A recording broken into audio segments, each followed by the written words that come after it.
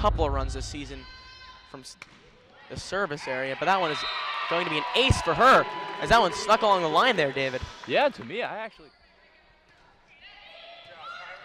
Bishop puts it in play. And Maria Mosbacher elevates and slams that one down, David. Yes, she did with a, a lot of emphasis on that, Andrew. She But with a lot of work to do, digging themselves a 2 to 0 hole in sets.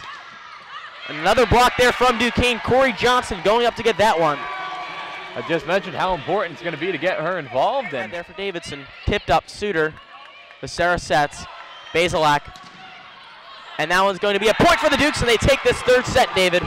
yes, they do, and a well-deserved win that was. They came out of the gate strong, made the necessary adjustments. They were able to pull that one out. off and force a fifth set. Becerra, Suter, Trezak in play. Point Duquesne as that one snuck inside that end line to give the Dukes another point and a timeout called by Davidson. Abby Trezak is back, Andrew. We The fifth set, fifth and, decisive, and decisive, I should say.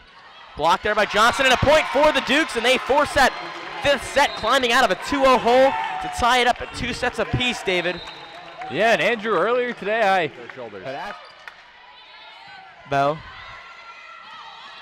Davitt. And Molly Davitt gets the point for the Dukes. An important one as well.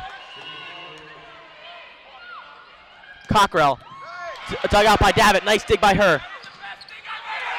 And a point there for Duquesne. And they battle back from a 2 to 0 set deficit and win 3 to 2 here inside the AJ Palumbo Center.